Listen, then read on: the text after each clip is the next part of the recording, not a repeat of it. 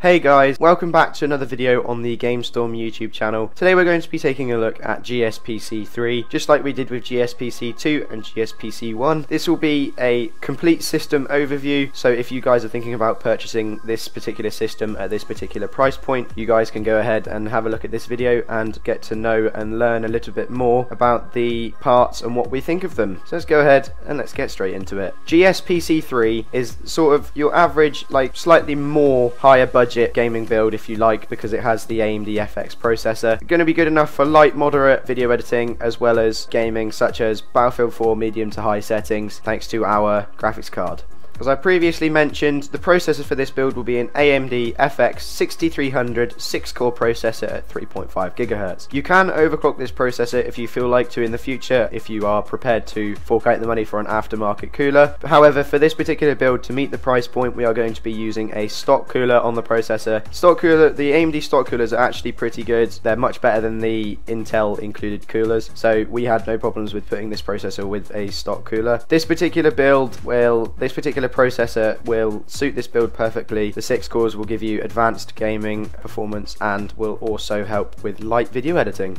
The motherboard for this build will be an Asus M5A78L-M/USB 3. This is a Micro ATX socket AM3 Plus motherboard, perfect for this build. At only £48 thereabouts, you really can't go wrong with this motherboard. Rock solid stable, used this in a previous client build and it you can't go wrong. Also you get all the added features with, with it being an Asus board. For the RAM in this build we are going for 8GB of Corsair DDR3 1600MHz RAM. Now this is the standard bog standard standard, if you like, Corsair RAM. So you're going to get your bog standard 1600 megahertz speed, which is all you need for modern games and video editing today. But over GSPC 1, you get the 8 gigabyte increased capacity, so that will aid your gaming as well as your video editing. Other than that, the 8 gigabyte stick is all you really need for everything. It's going to be rock solid stable, it's value RAM, and it's made by Corsair, so nice RAM sticks. The storage drive for this build will be a Seagate Barracuda 1TB, 3.5 inch, 70 7200 RPM internal hard drive. Now, this hard drive, I've recently put this into this build because there was a WD 1TB in there, but since the WD 1TB has gone up so much in price for some reason, we decided to put the Seagate Barracuda in, as Rob has one, and he swears by it. Like GSPC 1, we put this hard drive in because 7200 RPM, it's not going to slow down, and it's got 1TB of space, so you're going to have endless amounts of space to store all your stuff. Very good all-rounder. The graphics card for this build will be the Asus GeForce GTX 750 Ti 2GB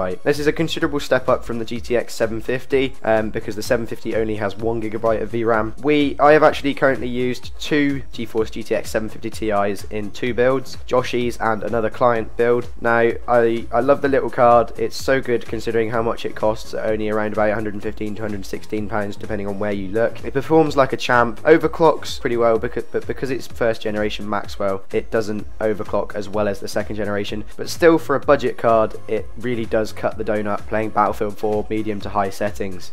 So for the case, another one that is common that you've seen from GSPC 1. Again, not my personal favourite for case, but considering it's only around about £19, it's a pretty good bargain. It's from Fractal, so you can rely on it being well made and having the removable PCIe slots that you can put back in if you don't need them. Good airflow and the such like, but as I highlighted in GSPC 1, I don't personally like this case because I'm me. But for the budget that it comes in at, it is pretty good good. The power supply for this build will be a Corsair Builder Series 430 watt 80 plus bronze certified power supply. Now we've used this, I've used this in a client build not too long ago. Very good little power supply for only 40 quid thereabouts or around. 80 plus bronze so it's going to be supplying quality efficient power to your system as well as being very efficient with that 80 plus bronze rating. The last part for this build which you can feel free to get rid of if you do not want it but we put it in because most of our builds have is the Lite-On IH AS124 14 DVD slash CD writer. Good writer, we've used it in GSPC 1 and I think in GSPC 2 I will go back and check, but uh, um, around about 11 pounds, 9 pounds if you look at PC World. It is a very good deal for a bargain basement disk drive and it's all you really need. So that pretty much wraps it up. So this light gaming PC slash light video editing PC comes in at only £402.32. Now in my opinion that's very good considering you get a 6 core processor and a GeForce GTX 750 Ti video card. Now I think this is a very good little build if you are looking to spend that sort of budget and uh, I hope you guys find this video informative. So if you did like this video you can help support our cause by visiting the links down below, liking our Facebook page and also if you like joining our support group. Also check the other links that may be down there. There we go. If you did like this video don't forget to like, comment, subscribe and we'll see you guys in the next one.